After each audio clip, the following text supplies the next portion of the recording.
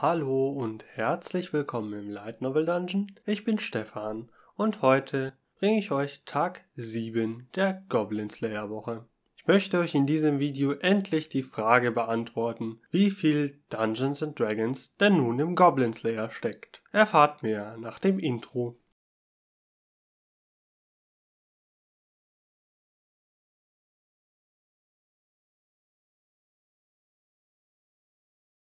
Ich muss glaube ich nicht sagen, dass dieses Video einige Spoiler enthalten wird. Daher solltet ihr die Novels noch nicht gelesen haben und habt es vor, beendet bitte das Video an dieser Stelle. In meinem ersten Review zum Goblin Slayer, das ich am 15. September 2020 veröffentlicht habe, hatte ich euch versprochen, ein Spezial zum Goblin Slayer und Dungeons Dragons zu machen und mal einige der Gemeinsamkeiten für euch zu sammeln. Im Rahmen der Goblin Slayer Woche hier im Light Novel Dungeon will ich dieses Versprechen nun endlich einlösen. Herzlich willkommen zu Tag 7 der Goblin Slayer Woche und meinem persönlichen Highlight. Wie im Intro erwähnt, soll es um die Frage gehen, wie viel Dungeons and Dragons steckt denn nun im Goblin Slayer?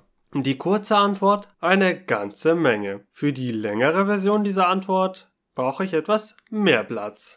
Was ist ein Tischrollenspiel und wie funktioniert es? Zu Anfang dieses Artikels ist es sicher sinnvoll, überhaupt zu klären, was denn überhaupt ein Tischrollenspiel ist. Gerne wird es auch Tabletop, Pen and Paper oder TTRPG genannt. Praktischerweise haben wir im Dungeon mit unserem neuen Mitarbeiter Ketsu genau den richtigen Ansprechpartner für diese Frage. Von ihm habe ich folgende etwas grobe Erklärung angeboten bekommen.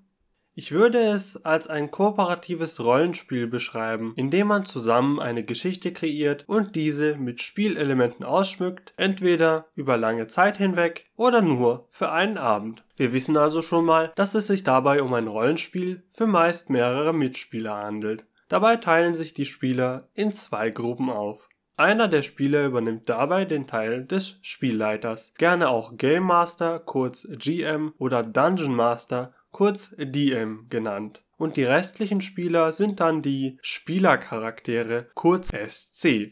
Mein Kollege beschrieb mir das Ganze so. Der DM ist der Spielleiter, der die Grundstruktur des Narrativs auslegt und auf die Spieler anpasst, sowie die Geschehnisse kontrolliert. Die Spieler steuern die Richtung, in die es geht und schmücken es mit Charakterinteraktionen und Handlungen aus. Der Spielleiter übernimmt also die Rolle des Erzählers und denkt sich eine Geschichte für die Helden, also die anderen Spieler aus, oder nutzt eine der vielen vorgefertigten Geschichten. Der Leiter übernimmt auch sämtliche NPC, auch Non-Player Characters und Monster, die im Spiel vorkommen. Die anderen Spieler erstellen sich entweder selbst einen Abenteurer oder greifen auf eine vorgefertigte Figur zurück. Diese steuern sie dann durch die gemeinsam erdachte Welt. Das Ziel dieser Art des Rollenspiels ist dabei denkbar einfach. Alle Beteiligten wollen einfach Spaß haben und einen schönen Abend verbringen. Dabei finde ich es wichtig, nochmal zu betonen, dass es ein kooperatives Rollenspiel ist. Der DM ist also, obwohl er auf der anderen Seite sitzt, nicht euer Feind, den es zu bekämpfen gilt, sondern ebenfalls ein Spieler. Was braucht man alles für ein Pen-and-Paper-Rollenspiel? Eine der schönsten Sachen am Tischrollenspiel ist, dass man sehr wenig braucht, um damit anzufangen und der Einstieg relativ günstig oder sogar umsonst ist. Wie viele Sachen ist auch Tabletop mittlerweile digital möglich, mit Sachen wie Foundry VTT, was im Übrigen nicht kostenlos ist, oder auch Roll20, was man kostenlos nutzen kann. Ich möchte mich hier aber auf die klassische Variante beschränken. Was man für ein klassisches Tabletop auf jeden Fall braucht, sind folgende Sachen. Papier, Bleistifte und Radiergummi, ein Würfelset bestehend aus verschiedenen Würfeln, zu denen gleich mehr, verschiedene Regelbücher, entweder gedruckt als Hardcover oder auf einem Tablet und einen möglichst großen Tisch. Das Papier, die Bleistifte und das Radiergummi für jeden Spieler sind nicht teuer. Diese dürfte sicher jeder Spieler auch schon zu Hause haben. Ansonsten gibt es diese Sachen im nächsten Schreibwarenladen für wenig Geld. Auch die Würfelsets sind ebenfalls sehr erschwinglich. Beim Shop mit einem lächelnden Karton könnt ihr euch ein ganzes Set bestehend aus sechs Sätzen Würfeln für gut 12 Euro bestellen. Das sind gerade mal 2 Euro je Set, also auch kein Beinbruch. Die Sets bestehen dabei aus verschiedenen Würfeln, die man anhand ihrer Seitenzahl unterscheidet. Dabei wird entweder die Abkürzung W wie Würfel oder D wie Dice, englisch für Würfel, verwendet. Ein D4 ist also ein Würfel mit vier Seiten. Ein Set Würfel enthält dabei einen D4, einen D6, einen D8, zwei D10, einen D12 und einen D20. Was sich auch als sehr nützlich erweisen kann, sind verschiedene Regelbücher. Das ist wirklich die einzige Sache der Grundlagen, die etwas ins Geld gehen kann. Bei einer gedruckten Fassung der wichtigsten Bücher für Dungeons Dragons, dem Spielleiterhandbuch, dem Spielerhandbuch und dem Monsterhandbuch seid ihr mit gut 40 oder 50 Euro je nach Edition pro Stück dabei. Beachtet hierbei bitte das folgende.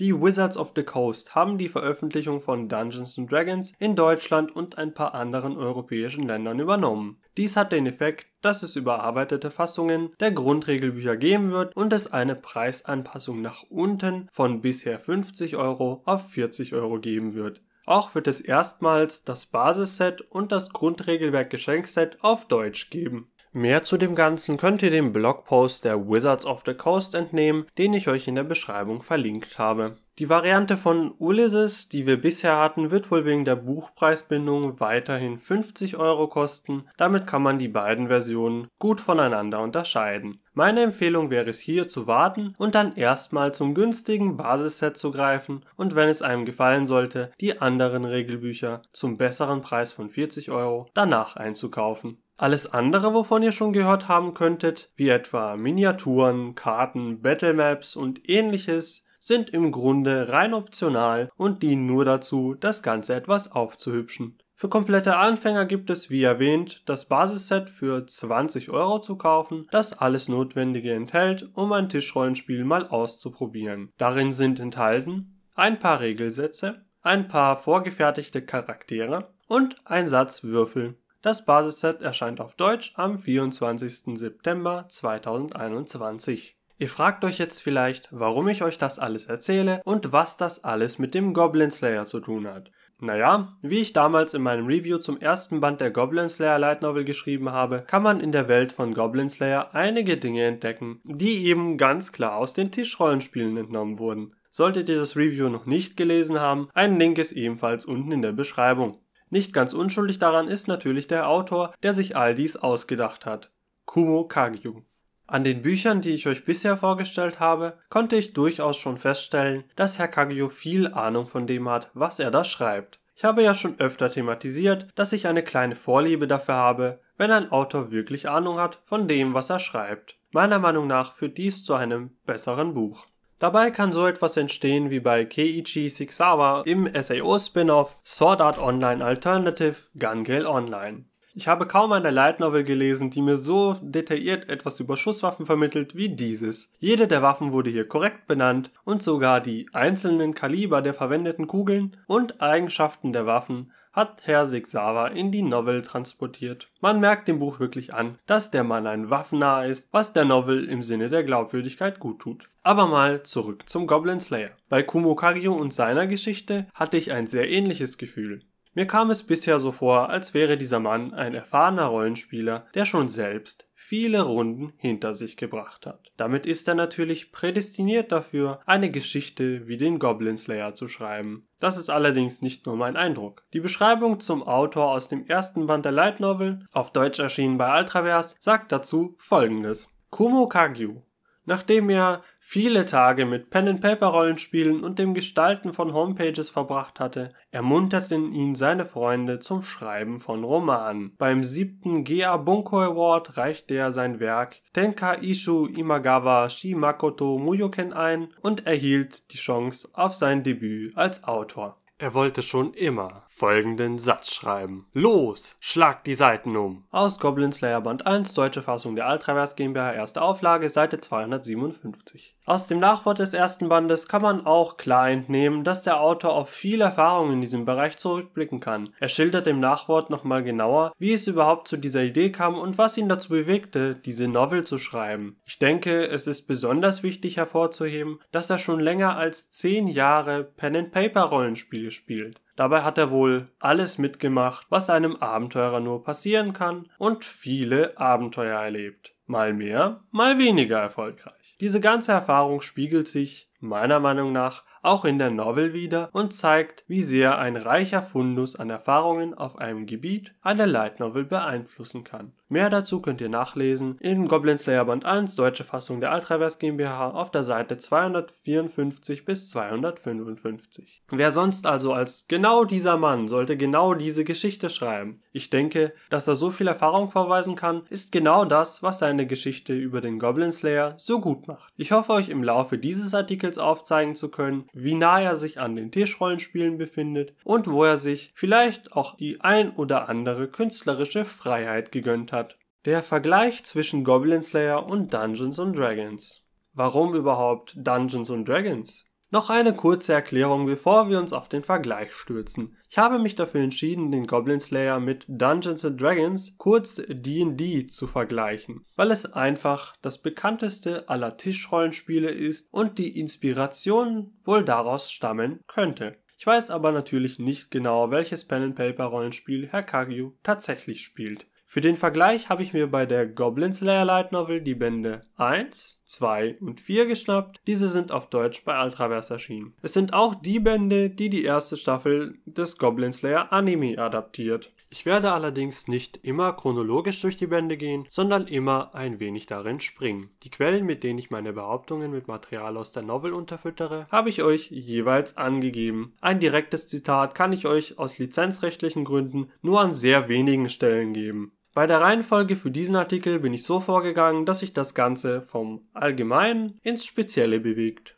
Die Götter und das Tischrollenspiel. Fangen wir daher, nicht nur im übertragenen Sinne, ganz vorne an. Direkt zu Beginn des ersten Bandes der Goblin Slayer Light Novel stolpert man über eine erste Sache im Buch, die so direkt aus einem Tischrollenspiel entstammt. Ich rede von unserem kleinen Schöpfungsmythos der Welt des Goblin Slayers. Direkt zu Beginn auf Seite 11 des ersten Bandes beschreibt uns der Autor eine kleine Szene. Die Götter des Lichts, der Ordnung, des Schicksals, der Dunkelheit, des Chaos und des Zufalls kämpfen darum, wer von ihnen denn nun die Welt beherrschen soll. Dabei gehen sie allerdings etwas anders vor, als man es erwarten würde. Sie nutzen nicht ihre göttlichen Fähigkeiten und bekämpfen sich, wie man es vielleicht von den Göttern des Olymps gewohnt wäre, mit den Fäusten, sondern benutzen dafür Würfel und die Götter haben eine Menge Zeit dafür. Sie würfelten fortwährend, und da nicht mal sie die Würfel beeinflussen können, wechseln sich Sieg und Niederlage stetig ab. Einen Sieger gab es nie. Ihr könnt euch sicher vorstellen, dass dies den Göttern irgendwann langweilig wurde. Also erschufen sie eine kleine Welt, um die Würfelspiele spannender zu gestalten. Natürlich wird auch diese von Charakteren bewohnt und manche von ihnen wurden sogar Abenteurer, die mal überlebten, mal nicht. Nach Goblin Slayer Band 1, deutsche Fassung der Altraverse GmbH, erste Auflage, Seite 11.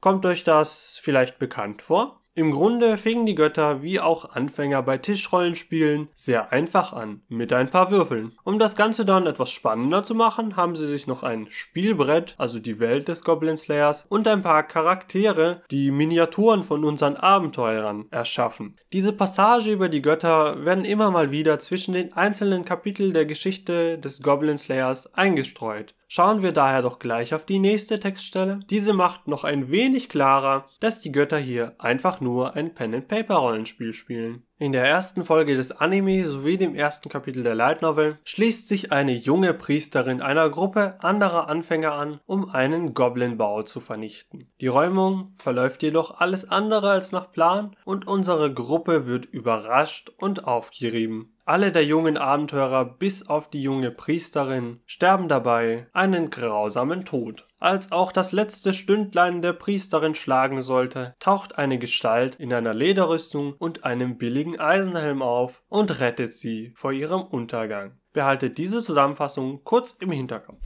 Kommen wir zurück zum Treiben der Götter. Die Göttin Illusion hat mal wieder Abenteurer losgeschickt und die Würfel zeigen sich ihr gnädig und die Ergebnisse sind gut. Das sorgt bei ihr für eine gute Stimmung. Ihr kennt das sicher auch, wenn ihr irgendwann mal irgendein Würfelspiel gespielt habt. Irgendwann seht ihr ein Ergebnis, das euch so gar nicht passt und euch so richtig die Laune verderben kann. So auch die liebe Illusion. Ein Wurf schlug wohl ziemlich spektakulär fehl. Als sie schon den Gedanken fasste, neue Charaktere zu erstellen, taucht eine weitere Figur auf dem Spielbrett auf. Nach Goblin Slayer Band 1, deutsche Fassung der Altreivers GmbH, erste Auflage, Seite 53. Könnt ihr eine Parallele erkennen? Im Grunde habe ich euch soeben die gleiche Szene aus zwei Blickwinkeln geschildert. Einmal aus der weltlichen Sicht der Bewohner der Welt des Goblin Slayers und einmal aus der göttlichen Sicht. So hat das furchtbare Ergebnis von Illusionen dafür gesorgt, dass unsere Anfängerabenteurer von den Goblins vernichtet wurden. Sie hatten einfach kein Glück, kann man sagen. Das alles verdeutlicht nochmal schön, dass die Welt des Goblin Slayers ein aktiv gespieltes Pen-and-Paper-Rollenspiel sein muss und die Abenteurer, die wir über den Anime begleiten, nichts weiter sind als Spielfiguren auf einem Spielbrett. Bleiben wir noch etwas bei den Göttern und widmen uns kurz einem kleinen Detail des Anime. Auch im Anime ist nämlich der kleine Schöpfungsmythos zu finden, den ich euch bereits erzählt habe. Schaut hier bitte einmal genau hin, denn auch in dieser Szene des Anime wird nochmal wunderbar deutlich, dass die Götter ein Tischrollenspiel spielen. Achtet auf die Würfel. 昔々今よりも星の明かりがずっと少なかった頃 光と秩序と宿命の神々と闇と混沌と偶然の神々はどちらが世界を支配するかサイコロ勝負で決めることにしました神々は何度も何度も何度も気が遠くなるほどサイコロを振りました Wenn ihr gut aufgepasst habt und auf die Bilder geachtet habt, dürften euch an dieser Stelle verschiedene Würfel aufgefallen sein, die die Götter verwenden. Man kann in dieser Szene ganz explizit ein paar D6, einen D8, einen D10 und einen D20 durch das Bild rollen sehen. Muss ich dazu wirklich noch was sagen? Um die ganze Sache rund um die Götter noch etwas abzuschließen und noch mehr Einblicke in das Rollenspiel der Götter zu bekommen, machen wir einen Sprung zu Band 2 der Light Novel. Hier beobachten wir Illusion dabei, wie sie gerade ein Labyrinth auf ein großes Papier zeichnet. Denn wie jeder weiß, ohne Dungeon kein richtiges Abenteuer, oder? Ihr fällt aber auf, dass in ihrem neuen Dungeon noch Monster und Fallen fehlen. Diese verteilt sie dann noch schnell auf der Karte. Allerdings ist immer noch etwas nicht ganz richtig. Der Gott Wahrheit stößt zu ihr, um ihr beim Dungeon zu helfen. Er zieht ein Buch voller Monster und Fallen hervor. Illusion hat bei seiner Anwesenheit nicht das beste Gefühl, denn wenn er am Spiel teilnimmt, passieren immer wieder schlimme Dinge. Seien es Fallen, die gerade so aus der Reichweite der Abenteurer aufgestellt wurden, oder Auftraggeber, denen er böse Dinge einredete. Er war immer wieder dafür verantwortlich, dass viele Abenteurer verletzt wurden oder sogar starben. Als Wahrheit also gerade fertig mit dem Aufstellen war, ließ Illusion einen Schrei herausfahren. Es ist genauso perfekt, wie es vor ihr steht. Nach Goblin Slayer Band 2, deutsche Fassung der Altravers GmbH, erste Auflage Seite 59 bis 60. Ganz ähnlich wie es hier beschrieben ist, dürfte wohl auch ein DM vorgehen, wenn er eine neue Karte für den nächsten D&D-Abend entwirft, um die Abenteurer dann dort hineinzuschicken. Auch interessant ist hier die Beschreibung des Gottes Wahrheit. Er scheint so ein bisschen mehr ein böser DM zu sein, um das Ganze etwas spannender zu gestalten. Auch in Tischrollenspielen ist es durchaus so, dass ein DM euch nicht alles erzählen wird und bewusst einige Details zurückhält oder ein NPC euch dreist anlügt, damit die Geschichte spannender wird einfach nur um diesen wunderschönen Moment eines unvorhergesehenen Plot-Twists zu haben. Auch das Monster- und Fallenbuch, das Wahrheit hervorholt, haben wir doch schon mal gesehen, beziehungsweise habe ich euch davon erzählt. Es könnte nämlich gut ein Monsterhandbuch gewesen sein. Man kann also an dieser Stelle, denke ich, festhalten, dass es als DM nicht schadet, wenn man vielleicht eine Begabung dafür hat, spannende Geschichten zu schreiben. Ein Muss ist das, aber nicht. Es gibt da draußen in den Weiten des Internets auch genug Geschichten, offizielle und auch inoffizielle von Fans erstellte Geschichten, die ihr nachspielen könnt. Seid aber gewarnt, dass es sich dabei meist um englische Geschichten handelt. Ich selbst habe mal eine solche kleine Geschichte leiten dürfen und die Idee rund um Rotkäppchen als Werwolf war schon nicht schlecht. Aber ich schweife ab. Kommen wir von den Göttern zu unseren Abenteurern. Wie man sich vorstellen kann, ist die Welt des Goblin Slayers natürlich gespickt mit Elementen, die man aus den Pen-and-Paper-Rollenspielen kennt.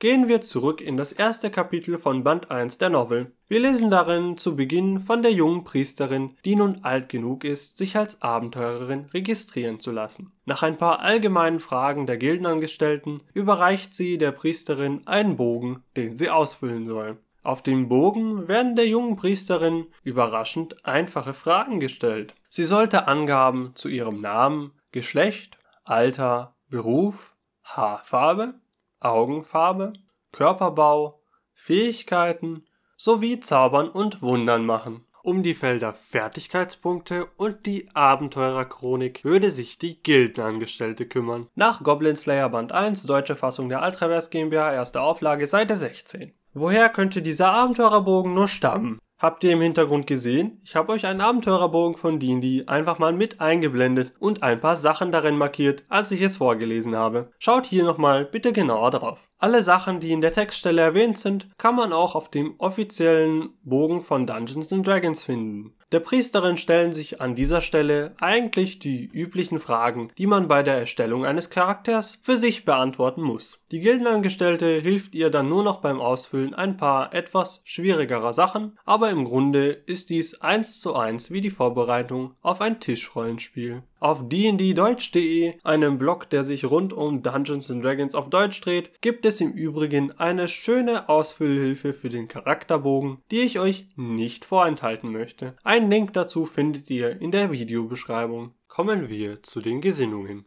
Zuerst einmal eine Erklärung. Was ist denn überhaupt eine Gesinnung? Die Gesinnung ist eine Charaktereigenschaft in Dungeons Dragons, wie etwa das Alter, das Geschlecht, die Rasse, die Klasse und so weiter. Die Charaktereigenschaft selbst teilt sich in zwei Teile.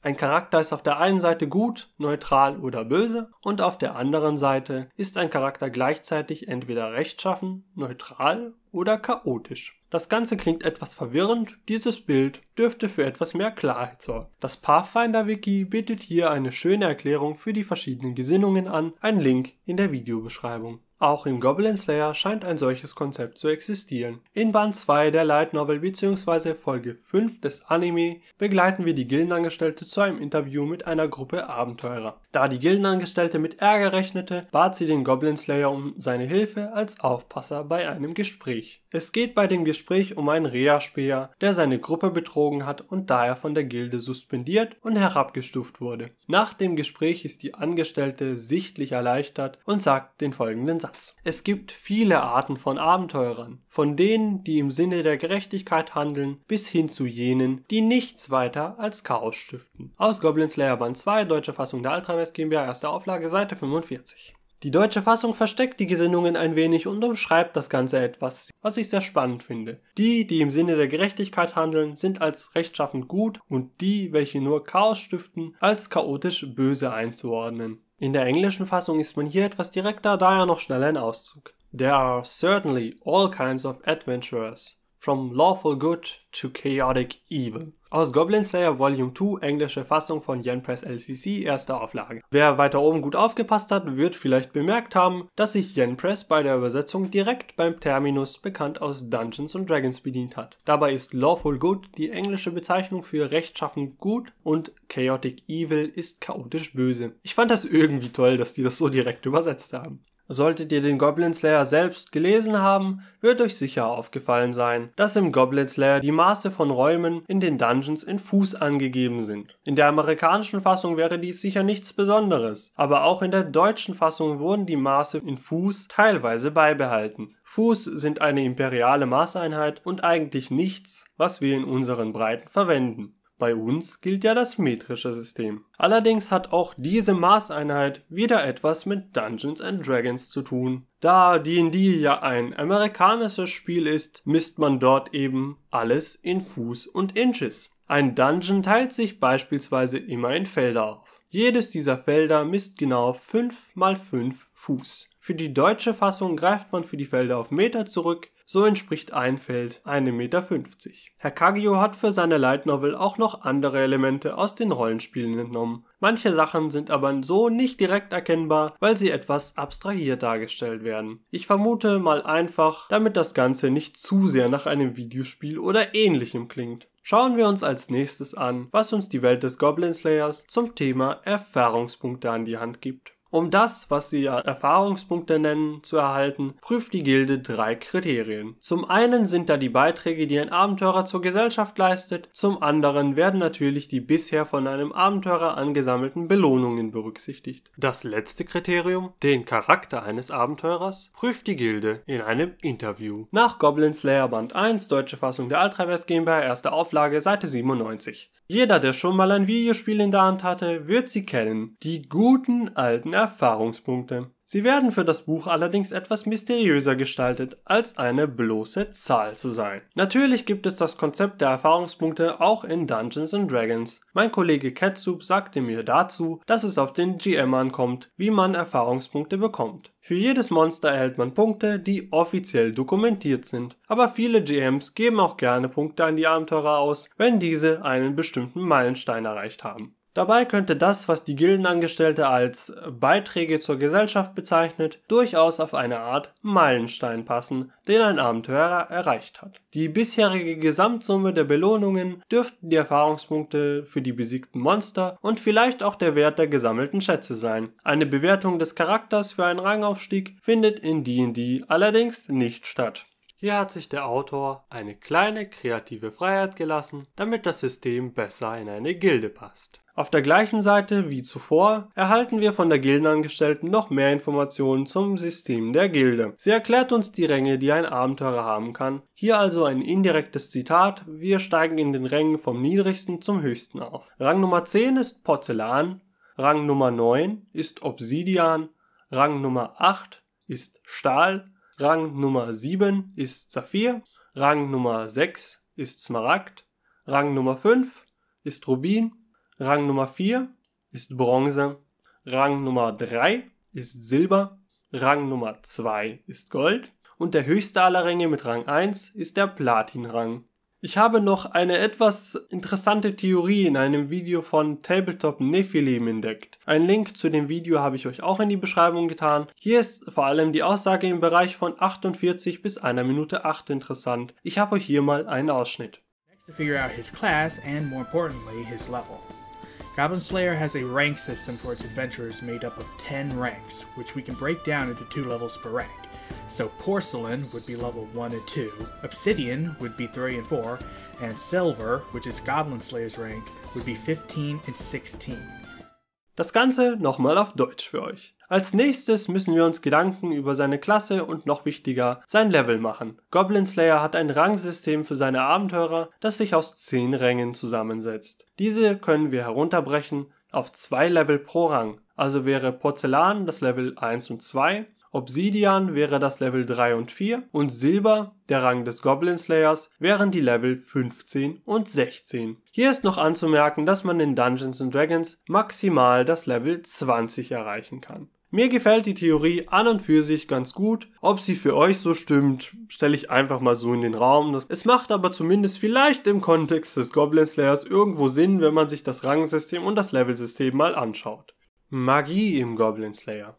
Bei der Magie nimmt es der Autor auch ziemlich genau mit dem Regelwerk. Zumindest wenn es um die Grundzüge der Funktion geht. Denn Magie funktioniert im Goblin Slayer in etwa genauso wie in Dungeons Dragons und folgt ähnlichen Regeln. Statt wie aus vielen RPGs bekannt auf Magiepunkte zu setzen, setzt man bei Dungeons Dragons auf ein System, das einfacher verständlich ist und weniger Rechnen erfordert. Jeder, der Zauber wirken kann, hat ein Limit, wie viele Zauber er an einem Tag wirken darf. So muss man nur im Auge behalten, wie viele Zauber man an einem Tag noch übrig hat. Dies dient wohl vor allem der Vereinfachung der magischen Klassen. Der Goblin Slayer setzt auf das gleiche System. Man liest an vielen Stellen während der taktischen Besprechungen der Gruppe des Goblin Slayers, dass er sich erkundigt, wie viele Zauber der Schamane, Mönch und die Priesterin heute noch haben. Allerdings macht es sich der Autor beim Goblin Slayer noch etwas einfacher was die Magie gegenüber Dungeons und Dragons angeht. Vermutlich würde das vollkommen gleiche System die Geschichte zu sehr stören. In Dungeons and Dragons gibt es noch den Zusatz, dass sich die Magie in verschiedene Ränge aufteilt, von 0 bis 9. 0 ist der niedrigste Rang und 9 der höchste. Je nach Zauber ist auch eine Vorbereitung und Material notwendig. Die Menge an Zaubern, die man an einem Tag ausführen darf, ist in Dungeons Dragons je nach Level des Abenteurers, der Klasse und dem Rang des Zaubers unterschiedlich. Hier mal eine Tabelle der Klasse des Klerikers, die euch zeigt, in welchem Level er wie viele Zauber eines Ranges wirken darf. Völker und Klassen Beginnen wir bei den Völkern. Nur eine Sache vorweg, der Autor nimmt sich hier ein paar mehr Freiheiten als bei anderen Sachen. Die Charaktere geben sich, typisch für Anime, sehr japanisch, was ein bisschen mit dem Fantasy-Setting und der Welt von D&D bricht. Aber es ist nun mal eine Light Novel, nicht wahr? Auch muss man an der einen oder anderen Stelle die ein oder andere Modifikation durchführen, damit alles ins Regelwerk passen würde. Es stellt sich also noch die Frage, wie viel davon tatsächlich beispielsweise aus D&D und wie viel der Fantasie des Autors und seiner Erfahrung mit Tabletop entspringt. Das Ganze hier ist also mehr ein Erklärungsversuch meinerseits, die Charaktere und die Rassen in die Regeln von Dungeons Dragons einzufügen, als alles andere. Ihr könntet durchaus zu einem anderen Ergebnis kommen als ich. Daher lasst uns darüber gerne in den Kommentaren diskutieren und uns austauschen. Ich denke, zum Volk der Menschen muss ich nicht wirklich viele Worte verlieren, oder? Menschen sind nun mal Menschen mit allen Facetten, die dazugehören. Sie glauben in beiden Welten an verschiedene Götter, leben in Städten oder auf dem Land, in Gesellschaften zusammen, wie man sich Menschen eben vorstellen würde. Soweit, so unspektakulär. Mit vielleicht dem einen Unterschied zu unserer heutigen Gesellschaft, dass die Leute dort bereits mit 15 Jahren als erwachsen zählen. Als nächstes haben wir die Rea. Man kann diese wohl am ehesten mit den bekannten Halblingen vergleichen. Viel erfährt man in den Noveln über diese Rasse bisher nicht. Außer, dass der Meister des Goblin Slayers ein Rea war und es ein paar Abenteurer dieser Rasse gibt. Sie sind kleiner als Menschen und sind meist die ersten, die verdächtigt werden, etwas gestohlen zu haben. Etwas, das diese etwas rassistischen Gedanken aber stützt, ist, dass die Halblinge aus dem Dungeons Dragons Regelwerk vor allem leichtfüßig sind und sich leicht verstecken können. Einen Vergleich zu D&D zu ziehen, ist hier relativ schwer, da man kaum etwas über die Rea weiß. Von der Größe und Statur scheint es aber zu passen. Zu den Elfen kann ich wieder etwas mehr sagen, da wir durch die Hochelfen-Bogenschützin einen Einblick in diese Rasse bekommen. Wie im Goblin Slayer immer wieder klargestellt wird, sind die Elfen besonders anmutig und schön. Eine Eigenschaft, die sie mit ihren Brüdern und Schwestern aus Dungeons Dragons teilen. Dazu gehören auch die charakteristischen spitzen langen Ohren. In beiden Welten können die Elfen im Dunkeln sehen. Auch andere Charakterzüge sind direkt aus Dungeons Dragons entnommen. Elfen werden in beiden Welten sehr alt, wobei die genauen Spannen variieren. Während Elfen laut dem D&D-Regelwerk gut 750 Jahre alt werden, sind es im Goblin Slayer mehrere Tausende. Unsere Hochelfen-Bogenschützin ist ja auch schon über 2000 Jahre alt. In beiden Welten leben die Elfen so gut wie ausschließlich im Wald. Nur einige wenige von ihnen verlassen diesen, um Abenteurer zu werden und ihre Neugierde zu befriedigen. Andere Eigenschaften, die in beiden Welten vorhanden sind, wären ihre Hochnäsigkeit und die Verachtung oder vielleicht fast schon ein Hass auf die Zwerge, auch wenn diese im Regelwerk von D&D nicht ganz so deutlich wird wie im Goblin Slayer. Aber auch die Elfen in D&D wissen, ähnlich wie unsere Bogenschützin, die Qualitäten der Zwerge zu schätzen, wenn es darauf ankommt. Die Bogenschützin ist dabei eher eine der offenen Hochhelfen, die unter den Menschen lebt und weniger hochnäsig, aber sehr neugierig und fasziniert von der Welt um sie herum. Kommen wir zu den Zwergen. Diese sind sowohl in D&D als auch im Goblin Slayer das, was man als typisch Fantasy bezeichnen würde. Klein und stämmig in ihrer Statur erkennt man sie sehr schnell. Sie sind kleiner als Menschen, aber größer als Halblinge. Natürlich haben sie alle in jeder Welt sehr markante Bärte. Ähnlich wie die Elfen können auch sie im Dunkeln sehen. Sie leben länger als Menschen. Nach dem Regelwerk von D&D werden diese gut 350 Jahre alt. Unser Schamane aus dem Goblin Slayer ist im Übrigen 107 Jahre alt. Auch die Zwerge sind in beiden Welten nicht sonderlich begeistert von den Elfen, können sie aber aushalten, wenn es gegen einen gemeinsamen Feind wie etwa Goblins und Orks geht. Viel mehr kann ich euch zu den Zwergen leider nicht sagen, außer dass sie wohl wie unser Schamane Alkohol nicht abgeneigt sind und vermutlich in beiden Welten in Gebirgen oder unter der Erde leben und hervorragende Schmiede sind. Zwei weitere eher exotische Rassen habe ich auch noch für euch. Fangen wir bei der an, die vielleicht noch eher in einem typischen Fantasy-Setting zu sehen wäre, den Echsenmenschen. Diese kann man am ehesten mit dem Lizard-Volk aus D&D vergleichen. Dieses Volk ist nicht im Hauptregelwerk enthalten, sondern ist in Volos Almanach der Monster zu finden. Also in Dungeons Dragons eigentlich eher ein Volk, das gegen die Spieler kämpft. Aber hey, warum nicht mal freundliche Echsenmenschen? Gemeinsam haben die Echsen in beiden Welten natürlich ihr Äußeres. Beide sind sehr schuppig, haben einen kräftigen Schwanz und Klauen, die sie auch zum Kämpfen verwenden können. In D&D sind diese etwa so groß wie Menschen. Sie werden in der Kategorie mittelgroß eingeordnet. Unser Exemplar im Goblin Slayer ist leicht größer als seine mitreisenden Menschen und Elfen. Beide Völker haben auch gemein, dass sie ein eher seltener Anblick für die anderen sprechenden Völker sind, da sie sich nicht oft unter andere Leute mischen. Sollten sie sich doch mal mit einem anderen Wesen zusammentun, sind sie gute, loyale Weggefährten und das in beiden Welten. Auch die Verehrung für ihre Ahnen ist etwas, das das Lizardvolk und unser Echsenmensch als Eigenschaft teilen. Mehr kann ich euch zu den Echsenmenschen aber auch nicht sagen, da weder der Goblin Slayer noch die D&D-Regeln hier wirklich viel zu den Hintergründen hergeben. Als letztes habe ich euch noch die Rasse der Petfoot. Es handelt sich bei dieser Rasse um eine Art Tier-Mensch-Hybriden. Die Spanne reicht dabei von typischen Katzenmädchen mit Katzenohren und Schwänzen, die sonst aber sehr menschlich wirken, über Leute, die schon fast ein tierisches Äußeres haben, mit Hundegesicht und ähnlichem, bis hin zu Full-Furry-Wesen mit dem ganzen Flausch, der dazugehört. Ich brauche hier wohl nicht sagen, dass dies etwas ist, das der Fantasie des Autors entsprungen ist. Im Regelwerk von Dungeons Dragons ist eine solche Rasse nicht zu finden. Die Klassen widmen wir uns als nächstes den Klassen im Goblin Slayer oder eher in welche Klassen man unsere Abenteurer zuordnen könnte. Praktischerweise heißen die Leute wie der Job, den sie haben. Wobei ich mich manchmal frage, ob die Figuren dann den Namen ändern, wenn sie den Job wechseln. Das ist aber ein Gedanke für ein andermal. Dabei möchte ich mich auf unsere kleine Heldengruppe beschränken, um mir ein Bild von der Umsetzung der Klassen zu machen. Alles andere würde doch den Rahmen des Artikels sprengen. Schauen wir uns erstmal meine Einordnung an, die ich mit Hilfe einiger Videos und den Handbüchern und etwas Hilfe von Kollegen vorgenommen habe. Der Goblin Slayer. Sicher der interessanteste Charakter, da er eine Mischung aus Barbar, Waldläufer und einem Schurken ist. Dabei ist der Goblin Slayer so kompliziert, dass ich gar nicht den Versuch wagen will, ihn euch genauer zu erklären. Ich will euch an dieser Stelle an zwei Videos verweisen. Das eine stammt vom vorhin schon erwähnten Tabletop Nephilim und das andere, etwas ausführlichere, stammt vom YouTuber EMB. Beide sind wirklich einen Blick wert. Ich habe sie euch beide in der Beschreibung verlinkt. EMB erklärt in seinem Video einen möglichen Bild des Goblin Slayers besser, als ich es je könnte. Beide Videos haben aber die Kombination der Klassen gemein, wenn auch in verschiedenen Kombinationen. Die Priesterin die Priesterin habe ich als Klerikerin eingeordnet. Den klassischen Priester, bekannt aus vielen verschiedenen Videospielen, gibt es in D&D nicht, aber die Kleriker sind das, was am nächsten dran ist. Die Priesterin glaubt an die barmherzige Erdmutter und spezialisiert sich mit ihren Wundern vor allem auf das Beschützen der Mitstreiter und das Heilen. Die Domäne ist die Ausrichtung eines Klerikers. Bei unserer Priesterin müsste man sie einer Domäne zuordnen, die das Tragen schwerer Rüstungen erlaubt und das vor allem ohne dass sie dafür Abzüge erhält. Ein Kettenhemd, das unsere Priesterin ja im Anime gekauft hat, gilt in Dungeons Dragons nämlich als schwere Rüstung. Dies schränkt unsere Auswahl an Domänen etwas ein. Ich habe sie der Einfachheit halber mal der Naturdomäne zugeordnet, da sie an die barmherzige Erdmutter glaubt, was durchaus eine Naturgottheit ist, würde ich sagen.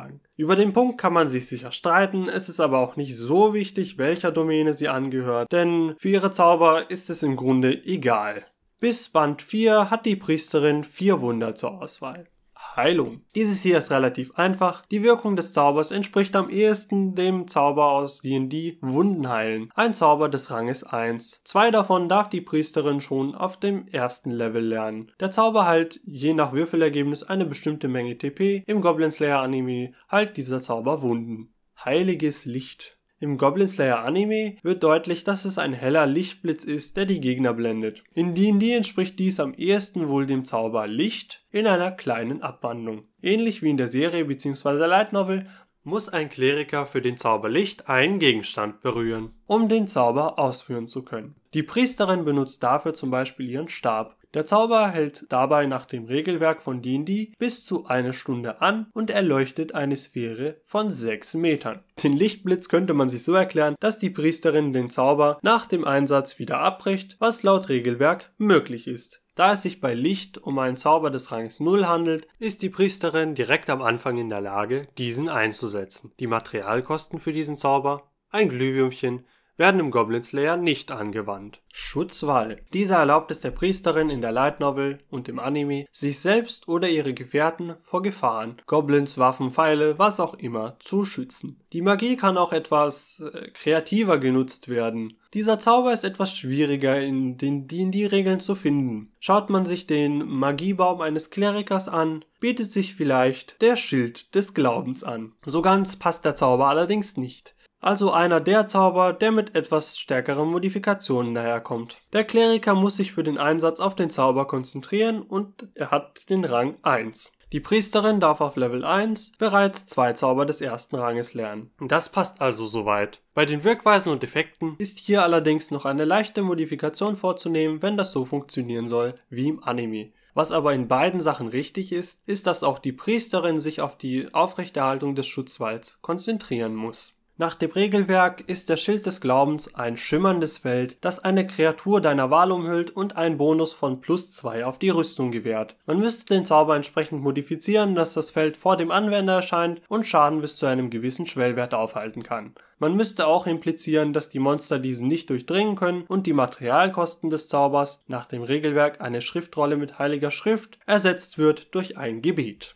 Stille. Dieser Zauber lässt die Gegner, wie der Name schon sagt, verstummen. Der Zauber funktioniert auch, wie man sich es in D&D vorstellen würde. Dort lässt er die Gegner in einem Radius von 6 Metern verstummen, sodass diese nicht kommunizieren können oder einen verbalen Zauber wirken können. In Dungeons Dragons ist dies ein Zauber des Ranges 2. Die Priesterin sollte in ihrem Kampf mit dem Ork auch schon in der Verfassung gewesen sein, diesen Zauber einzusetzen, also mindestens Level 3 haben. Sie erzählte ja selbst, dass sie den Zauber im Tempel gelernt hat. Das Level 3 ermöglicht es dem Kleriker, zwei Zauber des zweiten Ranges zu lernen. Die Hochelfen Bogenschützin. Die Elfin ist eine auf Bogenschießen spezialisierte Waldläuferin. Die Beschreibung ist hier sehr einfach, weil sie eigentlich ein Waldläufer ist, wie er im Buche steht. Sie bevorzugt eindeutig den Wald gegenüber Höhlen und kann sich durch ihre Agilität, was vermutlich eine Spezialisierung sein wird, grazil bewegen. Dies spricht dafür, dass sie bevorzugtes Gelände der Wald ist und dass sie sich wegen der Fähigkeit sicherer Schritt gut über das Gelände bewegen kann, das für die anderen unwegsam ist. Dazu kommt bei ihr noch der Waldläufer-Archetyp Mehrfachangriff in Form des Geschosshagels. In der Light Novel und im Anime sehen wir sie ja durchaus drei Pfeile auf einmal verschießen. Ihre Fähigkeit, Fallen zu entschärfen, ist eine Kombination aus Diebeswerkzeug und einem vermutlich hohen Wahrnehmungswert, passend zu einem elfischen Waldläufer. Der Zwergenschamane. Dieser wird wohl am ehesten einem Druiden entsprechen, da Dungeons Dragons keine Schamanen an sich kennt. Anstatt einen Gott anzurufen, erfordern seine Zauber meist den Einsatz eines Gegenstandes. Da er ein Abenteurer des Silberranges ist, kann er aus vielen verschiedenen Zauber wählen. Wenn wir uns an die Levelgrenzen von vorhin halten, hat der Zwerg ein Level von 16. Er hat auch einige Zauber in seinem Arsenal, aus denen er wählen kann. Bis einschließlich Band 4 sind dies Trunkenheit, der Zwerg versprüht einen feinen Nebel aus Alkohol. Jeder, der diesen einatmet, wird so betrunken, dass er in Ohnmacht fällt. Am ehesten vergleichbar ist dieser Zauber mit einer Variante von Schlaf, die die gleiche Wirkung erzielt, aber für Druiden lernbar ist. Der Zauberschlaf ist für Druiden nämlich normalerweise nicht lernbar. Es ist wohl eine Abwandlung vom Schlafzauber, damit sie besser zum Zwerg passt. Die Kreaturen fallen beim Schlafzauber gut für eine Minute in einen schlafenden Zustand. Es ist ein Zauber des Ranges 1. Man müsste gegebenenfalls noch, damit es wie im Anime passt, die Dauer etwas anpassen. Verwitterung. Dieser Zauber lässt Dinge verwittern. Der Zwerg benutzt den Zauber, um flüssigen Zement schnell trocknen zu lassen. Dazu habe ich leider nichts passendes im Regelwerk finden können. Am ehesten ist vielleicht noch irgendeine Art Zeitmagie denkbar. Tunnel. Ja, der Zauber gräbt einfach nur einen Tunnel. Hier gibt es nichts passendes aus dem Regelwerk. Ich meine, er gräbt einfach nur magisch einen Tunnel. Wenn ihr was habt, lasst es mich wissen. Fallkontrolle. Dieser Zauber manipuliert die Schwerkraft, um den Fall von Gegenständen oder Menschen zu kontrollieren. Am ehesten dürfte der Zauber Schwerkraft umkehren hier gut passen. Ein Zauber des siebten Grades. Man könnte damit wie im Kampf gegen den Goblin Champion die Schwerkraft manipulieren, um einen großen Felsen in die Decke stürzen zu lassen und die Feinde unter einem Schuttregen zu begraben. Der Zauber dreht nach den Regeln von D&D die Schwerkraft innerhalb eines 100 Fuß hohen Zylinders für eine Minute um. Auch hier müsste man gegebenenfalls etwas anpassen, damit es hundertprozentig zum Anime passt. Geisterwand. Dieser Zauber erschafft eine Wand aus Erde, die anders als der Schutzwall eine physische Form hat, aber ähnlich funktioniert. Ein ähnlicher Zauber aus dem Dungeons Dragons Universum dürfte wohl der Rang 5 Druidenzauber Steinwand sein. Dabei erzeugt der Druide eine Steinwand aus 10 Platten mit 3x3 Metern und 15 cm Dicke. 3x6 Meter wären ebenfalls möglich, wenn die Wand halb so dick ist. Somit würde die Wand genug Platz bieten für alle unsere Helden, um sich vor dem Blick des Betrachters zu schützen. Mehr allerdings zu diesem noch später. Man müsste den Zauber nur vielleicht etwas abwandeln, dass die Mauer aus Erde statt aus Stein besteht. Auch hat der Autor hier natürlich wieder Material gespart, das eigentlich notwendig wäre. Der letzte Zauber des Zwerges, Steinhagel. Der Zwerg erzeugt aus Lehm kleine Steine, die dann auf den Gegner geschossen werden, um Schaden auszuteilen. Bei diesem Zauber könnte es sich um eine Abwandlung des D&D-Zaubers magischer Stein handeln. Es handelt sich dabei um einen Zauber des Ranges 0, den auch ein Druide lernen kann. Laut Beschreibung kann der Magiewirker damit bis zu drei Steinchen magisch verzaubern und kann dann einen Zauberangriff über 60 Fuß ausführen. Man müsste den Zauber entsprechend modifizieren, dass er statt Steinchen Lehm verwendet und vielleicht doch einen höheren Rang geben, um eine größere Menge Steine oder einen großen Stein erzeugen zu können. Der Echsenmenschenmönch Kommen wir als letztes noch zum Echsenmenschenmönch. Dieser wird ein bisschen schwieriger zu erklären, denn ein Mönch funktioniert in Dungeons Dragons einfach um einiges anders als der Echsenmensch, den wir im Goblin Slayer gezeigt bekommen. Man müsste die Mönchklasse aus dem Regelwerk stark modifizieren, um das Ergebnis zu erhalten. Andernfalls wäre es auch möglich, dass der Echsenmenschenmönch eine Multiclass hat. Am ehesten wäre er allerdings noch ein Mönch, der den Weg des Astralen selbst beschritten hat. Um ehrlich zu sein, geht das ein bisschen über mein Wissen hinaus, also nur eine Erklärung, was der Echsenmenschenmönch kann und einen Versuch, das den Zaubern von D&D zuzuordnen. Man müsste aber auch den Weg des Astralen selbst etwas modifizieren. Kommen wir zu seinen Zaubern. Bis Band 4, der Drachenzahnkrieger. Mit Reißzähnen als Katalysator kann der Echsenmensch einen Drachenzahnkrieger als Vertrauten beschwören. Beschwörungen gibt es natürlich auch in Dungeons Dragons. Dazu muss man allerdings auf das Extra-Regelwerk Tasha's Cauldron of Everything zurückgreifen. Dort gibt es den Zauber Summon Beast und ein paar andere. Leider kann ich euch dazu nichts genaues sagen, da ich das passende Regelwerk nicht zur Hand habe. Erfrischung. Ein Heilzauber, der stärker ist als das Heilen der Priesterin. Vermutlich hat sich der Autor hier einfach verschieden starker Varianten Varianten von Wundenheilen bedient, einem Zauber, der bei Berührung eine Anzahl von Punkten abhängig vom Würfel heilt. Normalerweise ist dies eigentlich nur ein Rang 1 Zauber, aber man kann den Zauber verstärken, indem man ihn auf einem höheren Rang wirkt. Damit könnte sich auch der Unterschied zwischen dem Heilen der Priesterin und der Erfrischung des Echsenmenschenmönchs erklären lassen.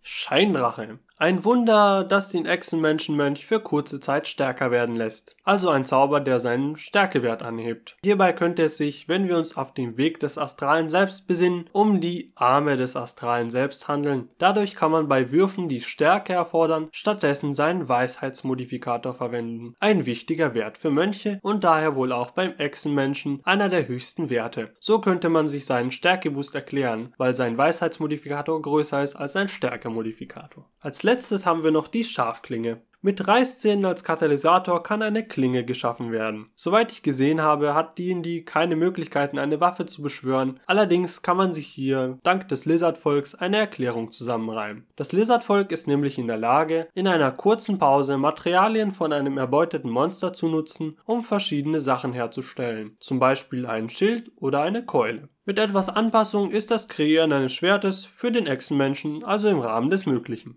Und wo wir gerade bei Rassen und Klassen sind, habt ihr euch eigentlich schon mal gefragt, wie sich ein Zwerg, ein Mensch, eine Elfe und ein Echsenmensch einfach so untereinander unterhalten können? Man könnte das Ganze jetzt einfach auf Anime-Logik schieben. Schließlich kann jeder in einem Anime immer Japanisch. Ganz so einfach ist es hier aber nicht. Die Welt des Goblin Slayers hat ein paar verschiedene Sprachen, die die Kommunikation zwischen den Völkern erschweren können. Schauen wir dafür mal in Kapitel 5 des ersten Bandes der Light Novel. Direkt zu Beginn fragt die Hochelfen-Bogenschützin die Gildenangestellte nach einem gewissen Orkebolg. Zu dem Namen übrigens später mehr. Die Gildenangestellte hatte einen solchen Namen allerdings noch nie gehört und fragte sich kurz, ob das Wort vielleicht elfisch sein könnte. Der Zwergenschamane zieht die Elfe daraufhin auf, dass nicht jeder elfisch kann. Auch den zwergischen Namen Bartschneider der gesuchten Person kannte die Gildenangestellte nicht. Es war der Echsenmenschenmönch, der durch seine rudimentären menschlichen Wortkenntnisse Licht ins Dunkle brachte. In Dungeons Dragons sind Sprachbarrieren durchaus ebenfalls ebenfalls ein Problem. Es existiert dort allerdings ein Konzept, das auch wohl so etwa im Buch seine Anwendung findet und eine Kommunikation der verschiedenen Völker ermöglicht. In Dungeons Dragons gibt es eine Standardsprache,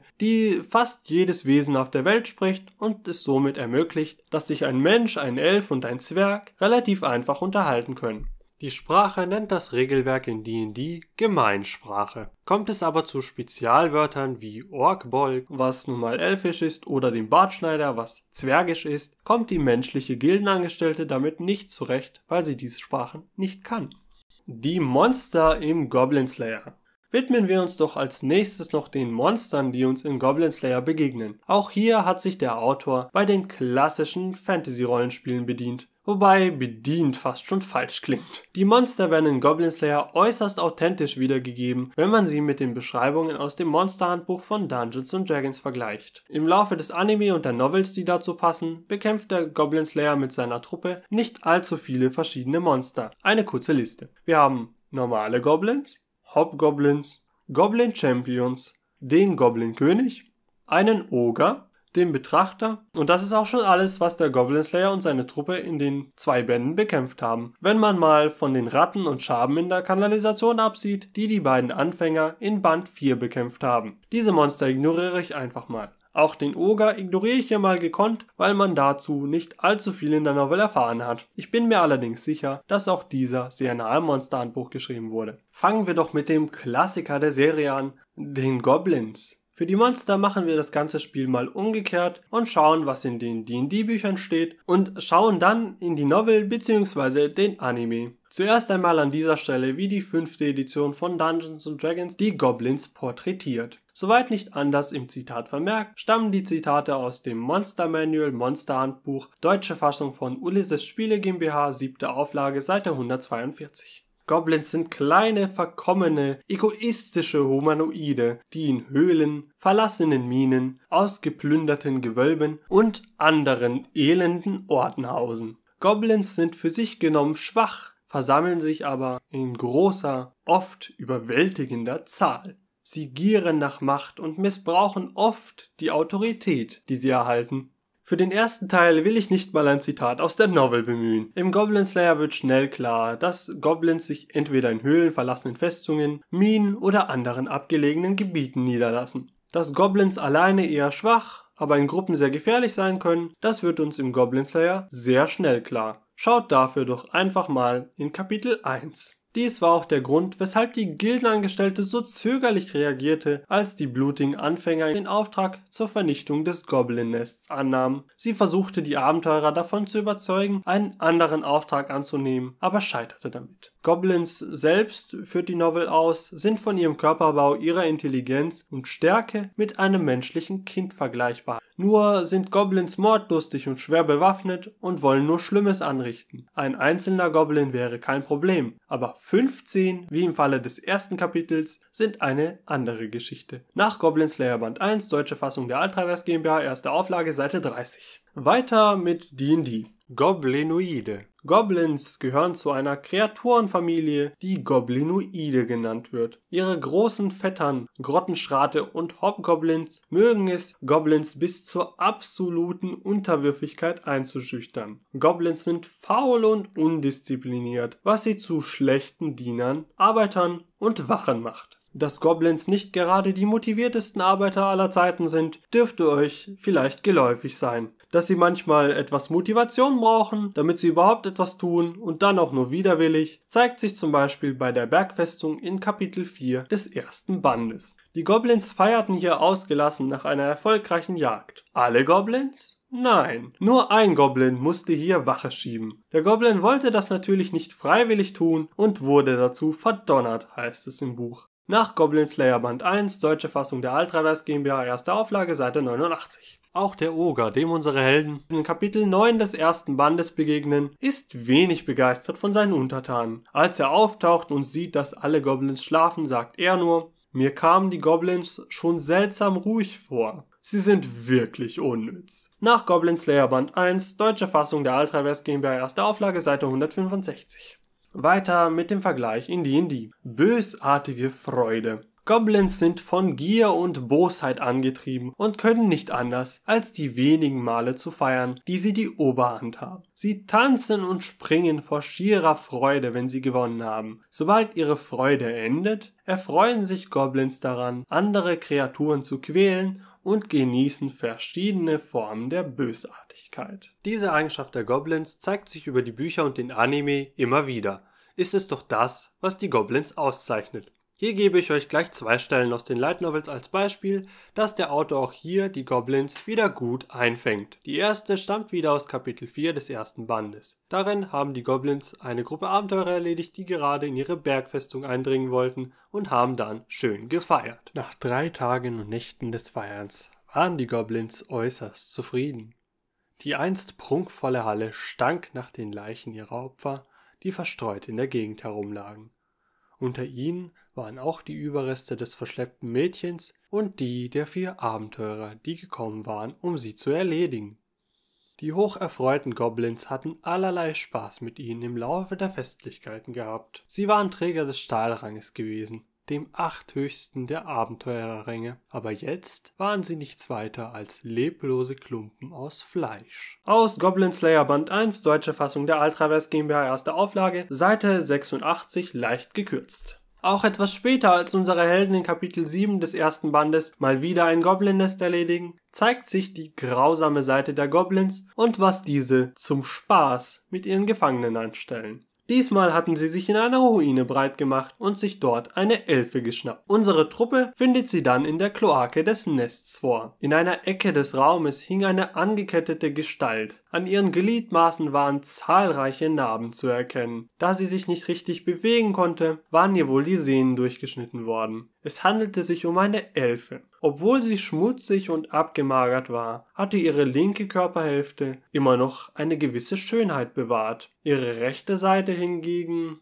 die ehemals weiße Haut war aufgrund der vielen blauen Beulen nicht mehr zu sehen und Auge und Brust waren komplett zerstört. Die Goblins mussten sie zu Unterhaltungszwecken gefoltert haben aus Goblin Slayer Band 1, deutscher Fassung der Altravers GmbH, erste Auflage, Seite 148. Ich denke, viel mehr muss ich zu dieser Eigenschaft der Goblins gar nicht sagen. Der Autor nimmt aber ebenso wenig kein Blatt vor den Mund und macht uns als Leser unverblümt klar, wie niederträchtig und verachtenswert Goblins mit ihren Gefangenen umgehen. Weiter also mit der Beschreibung aus Dungeons Dragons. Anführer und Gefolgsleute. Goblins werden von den stärksten oder schlauesten unter ihnen beherrscht. Ein Goblin-Boss könnte einen einzelnen Bau beherrschen, während der Goblin-König oder eine Goblin-Königin, was auch nicht mehr ist als ein glorifizierter Goblin-Boss, hunderte von Goblins regieren könnte, die auf mehrere Bauten verteilt sind, um das Leben seines Stammes zu garantieren. Goblin-Bosse sind schnell gestürzt und viele Goblin-Stämme werden von Hobgoblin-Kriegsherren oder Grotten Grottenschrathäuptlingen übernommen. Zu den Anführern will ich hier gar nicht so viele Worte verlieren, aber auch hier hat sich der liebe Herr Kakyu scheinbar wieder bei den Tischrollenspielen bedient. Der Goblin-Boss ist wohl das, was wir aus der Novel als Goblin Champion kennen. Auch einen Goblin-König bekommen wir zum Ende des ersten Bandes der Novel und am Ende des Anime zu sehen. Die Arten passen hier wieder sehr gut auf die Beschreibung. Der einzige Unterschied zur fünften Edition ist, dass Goblins im Goblin Slayer nicht weiblich sein können. Weiter mit der Beschreibung aus D&D. Rattenhalter und Wolfsreiter. Goblins haben eine Affinität für Ratten und Wölfe und züchten sie als Gefährten und Reittiere. Wie Ratten meiden Goblins das Sonnenlicht und schlafen während des Tages unter der Erde. Wie Wölfe sind sie Rudeljäger, die durch Überzahl mutiger werden. Wenn sie vom Rücken ihrer Wölfe aus jagen, verwenden Goblins Überfalltaktiken. Ich war ehrlich gesagt etwas überrascht, das im Monsterhandbuch von Dungeons Dragons lesen zu können. Denn vielleicht wisst ihr ja auch, dass die Goblins auch im Goblin Slayer Wölfe als Gefährten und Reittiere halten. Über die Ratten ist im Buch zwar jetzt nichts erwähnt, aber sicher leben in den Nestern der Goblins einige der Viecher. Es gab zwar zuvor auch schon eine Stelle im ersten Band der Light Novel, die die Beziehung zwischen den Goblins und Wölfen beleuchtet, aber spannender finde ich an dieser Stelle das große Finale des Anime und den letzten paar Kapiteln des ersten Bandes der Light Novel. Die Wölfe der Goblins spielen hier nochmal eine Rolle. Ebenfalls kommen auch die im Monsterhandbuch von Dungeons Dragons erwähnten Überfallangriffe zum Tragen. Natürlich ist der Goblin Slayer wieder schlauer, was das angeht. Im Anime sieht man sehr deutlich, und besser, was ich meine, daher ein Ausschnitt aus Folge 11 der ersten Staffel des Anime.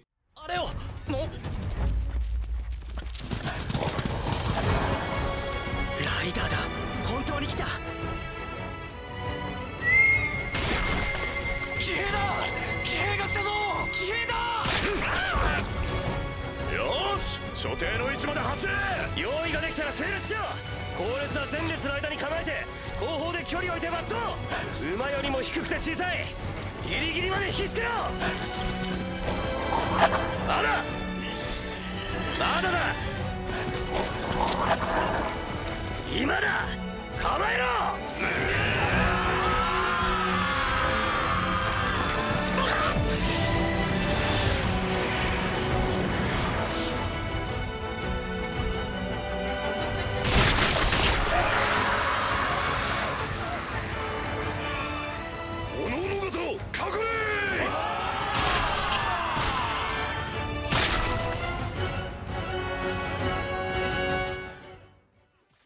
Es erstaunt mich immer wieder, wie schlau die Goblins doch mit einer kompetenten Führung und einer gewissen Masse vorgehen können. Eine Kleinigkeit, wo sich die Goblins aus dem Goblin Slayer von den Darstellungen im Monsterhandbuch unterscheiden, ist, dass die Goblins in der Light Novel alle grün sind, in D&D sind diese typischerweise gelb. Der Betracht. Werfen wir doch noch einen Blick auf ein weiteres Monster, den Betrachter. Dies ist das Monster mit den vielen Augäpfeln, das unsere Truppe in Kapitel 9 des zweiten Bandes bzw. der achten Episode des Anime besiegt hat. Auch hier soll uns ein schneller Blick in das Reich von Dungeons Dragons erstmal eine Basis für den Vergleich schaffen. Ein Blick auf einen Betrachter ist genug, um sein verdorbenes, unweltliches Wesen zu erkennen. Diese Aberrationen sind aggressiv, hasserfüllt und gierig und behandeln alle anderen Kreaturen wie niedere Geschöpfe. Sie spielen mit ihnen oder zerstören sie, wie es ihnen gefällt. Der kugelförmige Körper des Betrachters schwebt zu jedem Zeitpunkt und sein großes, glotzendes Auge sitzt über einem breiten, zahnigen Mund, während die kleinen Augenstiele, die seinen Körper krönen, sich drehen und winden, um die Feinde zu beobachten aus dem Monster Manual Monster Handbuch deutscher Fassung von Ulysses Spiele GmbH, siebte Auflage, Seite 24. Interessant ist an dieser Stelle, dass auch in der deutschen Übersetzung der korrekte Name für das Monster verwendet wurde. Dies kann man auch auf Seite 200 des zweiten Bandes genauer nachlesen. Dort meint der Zwerg zum Goblin Slayer, dass sie das am Tag zuvor entdeckte Monster als großäugiges Monster oder Betrachter bezeichnen sollten. Werfen wir noch schnell einen Blick auf die Fähigkeiten dieses Monsters. Dieses Monster hat im Grunde zwei Fähigkeiten. Die erste ist der Anti-Magie-Kegel und die zweite Fähigkeit sind zehn verschiedene Augenstrahlen, die das Monster zur Verfügung hat.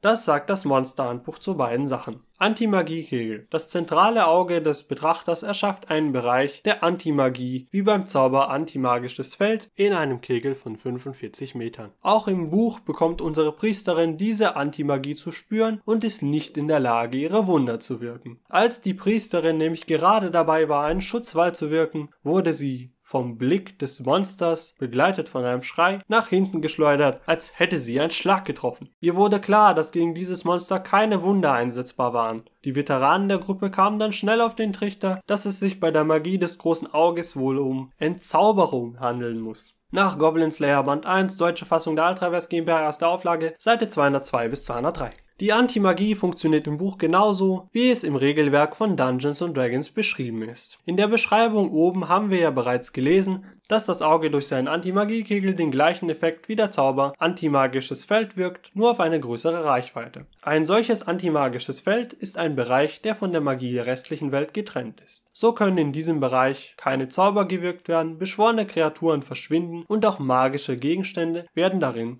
zu normalen Gegenständen.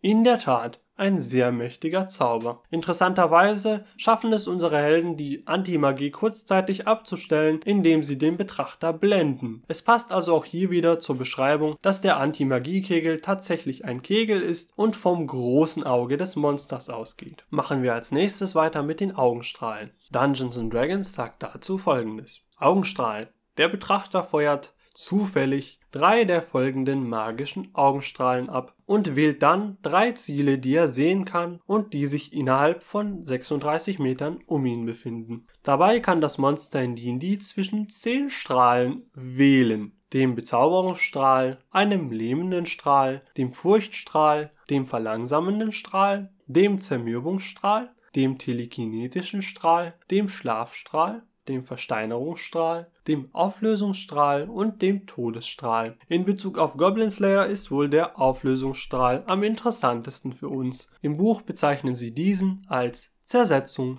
Allerdings hat dieses Monster im Goblin Slayer einen kleinen Unterschied im Gegensatz zu seinem D&D-Zwilling. In Dungeons Dragons kann das Monster nur einen zufälligen der zehn ihm zur Verfügung stehenden Strahlen auswählen. In Goblin Slayer kann der Betrachter allerdings willentlich Zersetzung einsetzen. Wir sehen also auch beim Betrachter, dass dieser in der Light Novel im Vergleich zum offiziellen Regelwerk von D&D einige Parallelen hat und ganz bestimmt von ihm inspiriert worden ist. Insgesamt sind die Monster wohl sehr nah am Quellmaterial dran. Noch etwas Trivia. Bevor ich gleich zum Fazit komme, noch etwas Trivia für euch. Es hat jetzt nicht wirklich etwas mit Dungeons Dragons zu tun, aber irgendwie fand ich diesen Fakt dennoch etwas lustig. Als sich unsere neu gefundene Truppe von Helden in Band 1 zu ihrem ersten Abenteuer aufmacht, übernachten sie in der Wildnis an einem gemütlichen Lagerfeuer. Dort erzählen die Elfe und der Zwerg dann, warum sie den Goblin Slayer Orkbolg bzw. Bartschneider nennen. Beide erzählen, dass dies der jeweilige elfische bzw. zwergische Name für eine Klinge ist, die blau leuchtet, wenn ein Ork, elfisch für Goblins, in der Nähe ist. Die Klinge wurde geschmiedet von den Zwergen. Vielleicht kommt das den Herr der Ringe-Fans unter euch bekannt vor? Kollege Katsup wies mich hier darauf hin, dass der oben beschriebene Orkbolg eine Referenz an das Schwert Sting, zu Deutsch Stich, aus dem Universum von Tolkien sein könnte. Das Schwert, das Bilbo und auch Frodo verwenden, hat die Eigenart, blau zu leuchten, wenn ein Ork, also kein Goblin, in der Nähe ist. Der Autor hat also an dieser Stelle einfach eine kleine Referenz gebaut, sowie einen Wortwitz. Fazit ich denke, mein kleines Essay hier macht doch sehr deutlich, wie sehr Kumo Kagyu beim Schreiben des Goblin Slayer aus seinen eigenen Erfahrungen im Bereich Tabletop gezehrt hat. Vieles hat er direkt aus der Welt der Tischrollenspiele importiert. Hier sind vor allem die Monster eine besondere Erwähnung wert. Allerdings bringt er durchaus eigene Elemente mit ein, die das Ganze etwas japanischer wirken lassen und genehmigt sich bei den Charakteren einige Freiheiten. Über manche Dinge, die ich während der Recherche herausfand, war ich selber sehr erstaunt. Ich hätte nicht gedacht, dass die Monster so nah an Dungeons Dragons dran sind. Auch, dass die Götter eigentlich nur ein Tischrollenspiel spielen, finde ich interessant.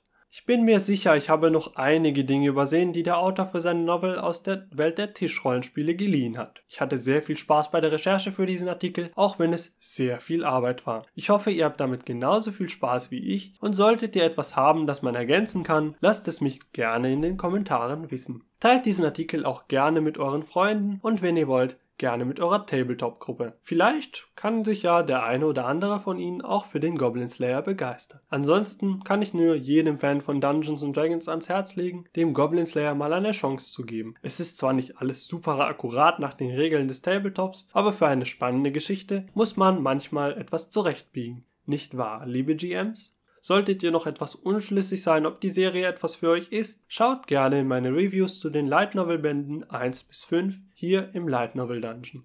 Und das war's auch mit diesem viel zu langen Video. Ich hoffe, es hat euch gefallen. Wir sehen uns dann das nächste Mal. Bis dahin. Tschüss.